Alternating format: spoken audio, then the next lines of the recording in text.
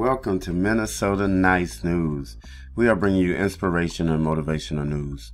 Our stories have inducement and give encouragement to those that listen and watch. Coming from an industry that depended on your personality and your survival, even on a bad day, you had to go in. The service industry gave me a chance to develop into a talkative, entertaining, and exciting person. It also gave me a chance to see some amazing parts of the world and meet so many wonderful people. I have traveled and lived in Sweden, Germany, Spain, Italy, Amsterdam. Being able to see the kindness that people display also is inspirational for me because of my attitude. I was able to go many, many places. I am giving back using those same talents that took me physical places.